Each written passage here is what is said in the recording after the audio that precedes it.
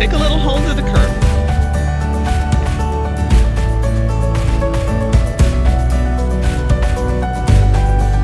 There you go.